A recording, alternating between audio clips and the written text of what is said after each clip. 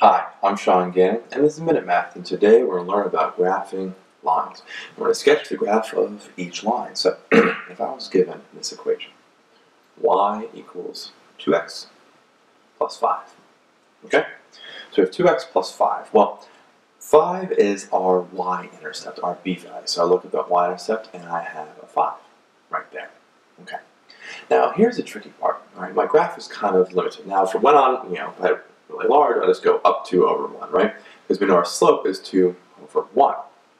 And we also know, right, so let's just that. Up 2 units, 1, 2, a little past it, over 1, we got a point right there, and that's what 7 comma, or 1 comma 7, excuse me, I always do that, 1 comma 7. But that line, y equals 2 uh, x plus 5, is the same thing as y equals negative 2 over negative 1 x plus 5, right? Because negative 2 divided by negative 1 is a positive 2, right? So that means we can go down two units, one, two, over one unit. And we can go down two units to the left one unit, right?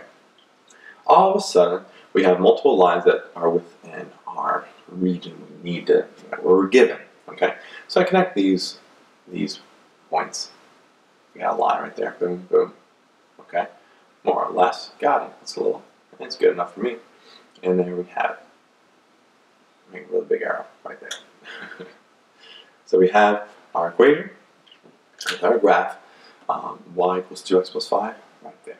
So again, quick recap. Plus 5 is our y-intercept. We put a dot right there.